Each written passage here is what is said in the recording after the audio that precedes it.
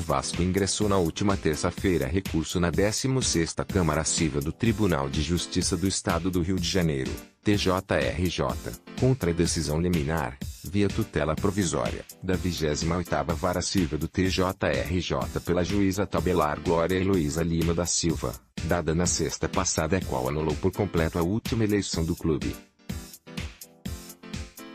A defesa do Cruz Mantino foi apresentada em 23 páginas, as quais o lance teve acesso e destrincha abaixo.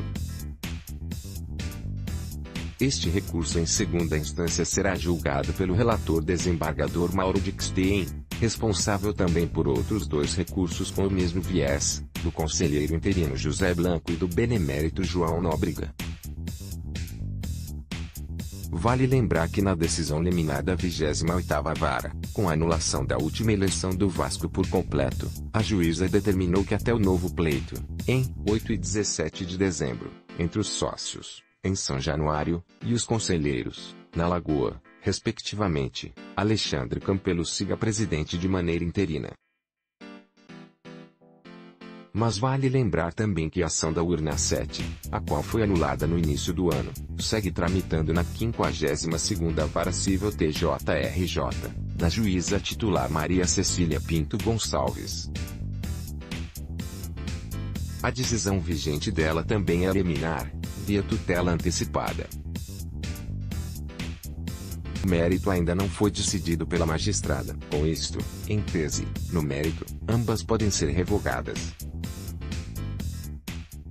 Considerações iniciais Nas considerações iniciais do recurso, o Vasco alega que não existiu urgência para que a tutela fosse deferida a Alain Belaciano, advogado autor da ação, ligado ao grupo Sempre Vasco, liderado pelo conselheiro interino Julio Brant. O argumento é o de que a Assembleia Geral atualmente anulada ocorreu em 7 de novembro de 2017 e, por conseguinte, a reunião do Conselho Deliberativo em 19 de janeiro de 2018, com ação sendo ajuizada após 11 meses da ocorrência da Assembleia Geral e após 9 meses da posse da nova diretoria administrativa.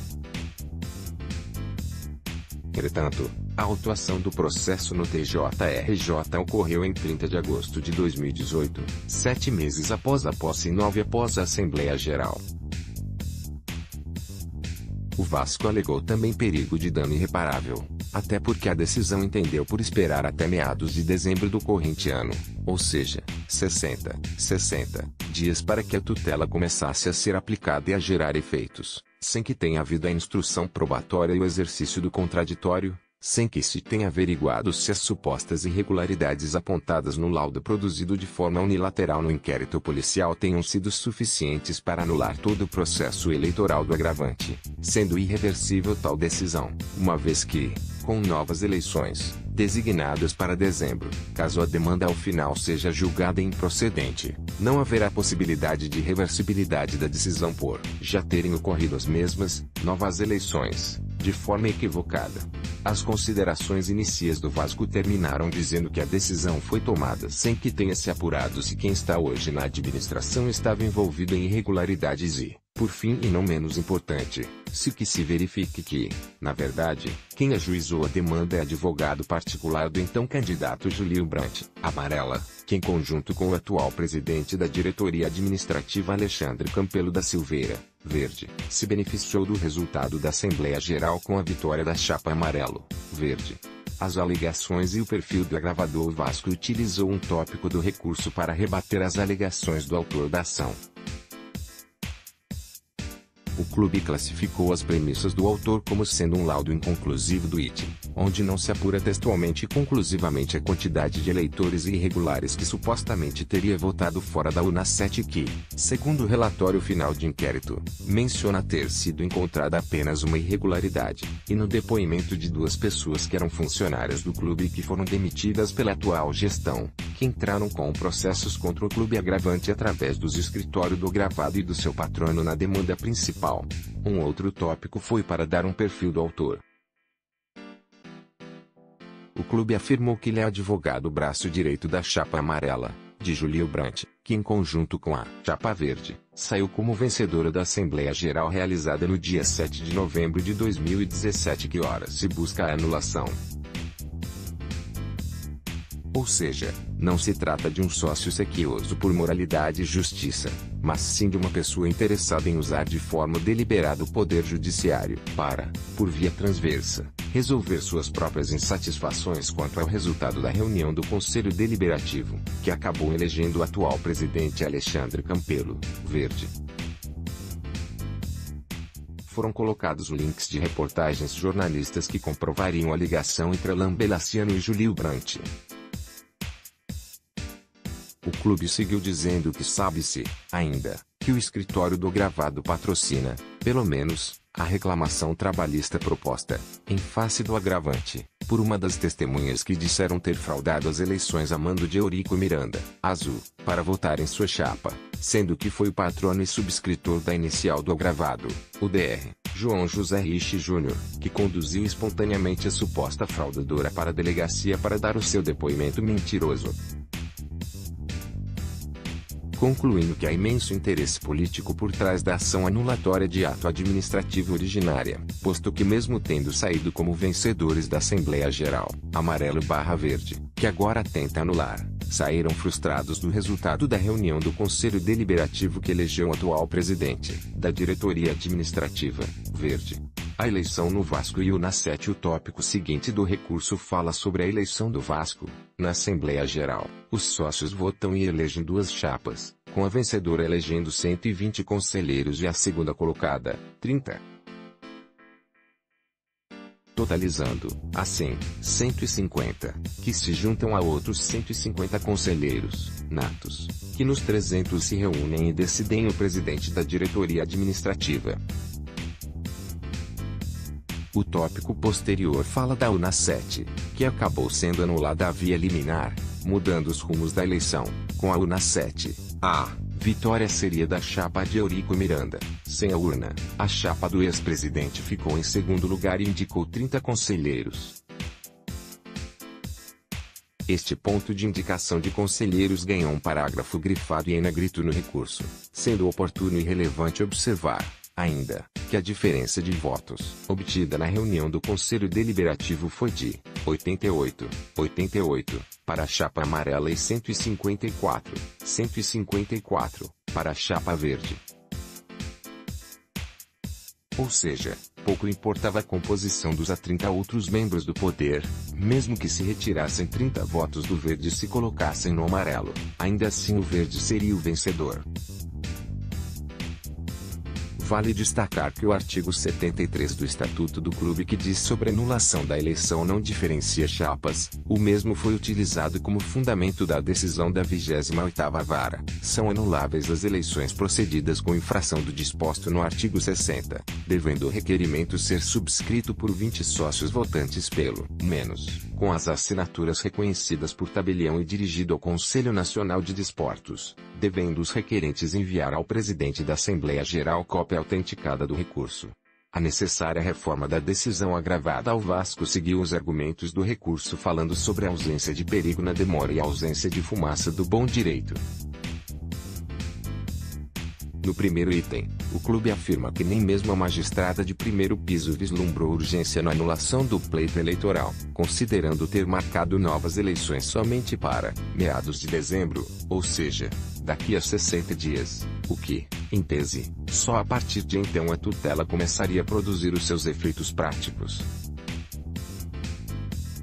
Na decisão liminar, a qual o lance também teve acesso à íntegra, a magistrada argumenta este vácuo pelo período para organização e que a temporada de futebol já chegaria ao fim. No segundo item, o Vasco afirmou que neste momento, inexiste exaustiva probabilidade do direito, pois a demanda era extremamente complexa, tendo 40 folhas de alegações na inicial e mais de 2 mil páginas de documentos, de maneira que se faz necessária uma análise bem apurada para que haja uma conclusão que confira segurança jurídica não só às partes, mas também para os vascaínos, demais amantes do futebol e as centenas de pessoas que dependem do clube para prover seu sustento. O inquérito finalizado pela Delegacia de Defraudações da Polícia Civil do Estado do Rio de Janeiro, que apontou irregularidades na eleição do Vasco, indiciando um funcionário do clube, atualmente afastado das funções, também foi citado no recurso Cruz Maltino. No documento recursal, o Vasco afirmou que a decisão se baseou exclusivamente em um inquérito policial, recentemente juntado pelo gravado, que por sinal, não foi assertivo em detectar, se realmente houve fraude nas demais urnas, quantos foram os votos, e se estes seriam hábeis anular todo o procedimento eleitoral iniciado no final de 2017 e finalizado em meados de janeiro de 2018. O Vasco segue argumentando que o Ministério Público ainda não ofereceu denúncia até agora. Em outro ponto, o Vasco se posicionou no recurso em relação ao artigo 73 do Estatuto, afirmando que o mesmo deve ser interpretado de forma sistemática e não literal. Diz o clube cabe ressaltar que o artigo 73 do Estatuto do Clube, que fala da possibilidade de anulação da Assembleia Geral caso haja infração ao disposto no artigo 60, deve ser interpretado de forma sistemática e não literal. Isso porque, a dita anulação deve acontecer quando se macula a vontade dos eleitores e frontalmente modifica o resultado do pleito, não quando há casos isolados que sequer alterariam o resultado prático das eleições. Repita-se a exaustão. A. A chapa azul não foi a vencedora da Assembleia Geral. B. Os 30, 30 votos da chapa que ficou em segundo lugar não alteraram o resultado obtido no Conselho Deliberativo. Como visto, o verde venceria de qualquer modo. Se defende o Vasco dizendo que o atual presidente da diretoria administrativa, Verde, bem como seus vice-presidentes eleitos de forma lícita, democrática e dentro das regras estatutárias, não participaram de qualquer tipo de fraude, de ilícito, de ato que atentasse à moralidade ou participaram de qualquer esquema que pudesse obter vantagem eleitoral. Ao contrário, se ao final do processo, vier a comprovar a ocorrência de fraude, tratam-se, os verdes, de vítimas. O Vasco seguiu dizendo que acusam o senhor Eurico Miranda de ter fraudado as eleições, pedem a anulação do pleito, que ele sequer concorreu na reunião do Conselho Deliberativo. Dessa forma, quem está literalmente pagando pato por essa decisão alienígena, são terceiros de boa fé que vêm tentando sanear o clube de forma transparente e honesta. Absurdo. O efeito suspensivo ativou o tópico seguinte do recurso do Vasco trata do pedido de um efeito suspensivo da decisão liminar. O clube cita uma imensa insegurança jurídica que certamente ocasionará no total colapso do clube. Segue dizendo que especialmente financeiro, que culminará na suspensão de cerca de 80 acordos judiciais e extrajudiciais já realizados com credores razão pelo qual restabeleceria a execução de mais de 200 milhões reais. 200 milhões de reais. Isso somente na esfera civil, foram os parcelamentos tributários realizados e os acordos trabalhistas e esportivos que visam todos a equação do passivo financeiro encontrado pela atual administração, jogando por terra todo o trabalho realizado pelas empresas de consultoria financeira contratadas pelo réu, entre elas a KPMG, a BDO e a Grant Thornton.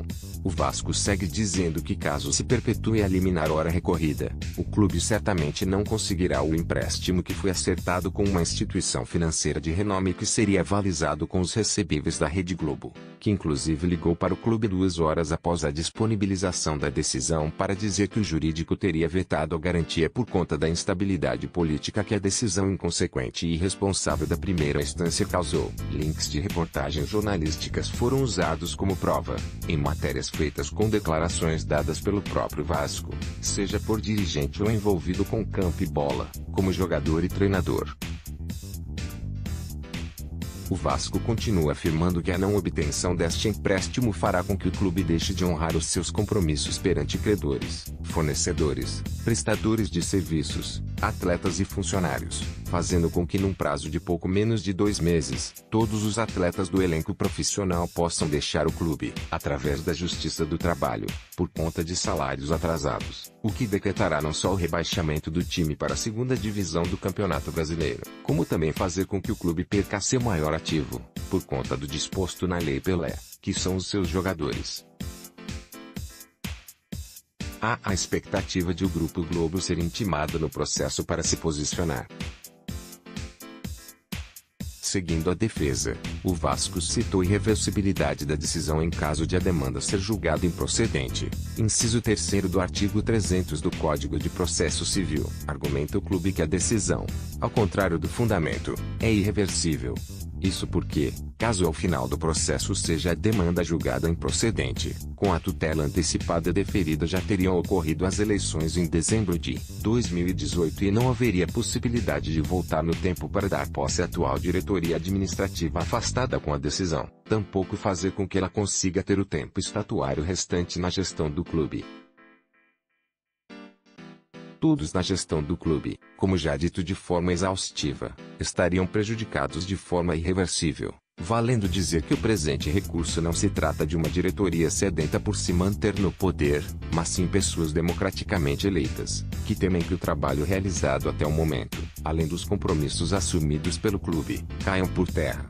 Próximo do fim do documento de recurso, o Vasco citou outros pontos. A. A perda do empréstimo que fará com que todos os funcionários do clube deixem de receber salário até o ano que vem.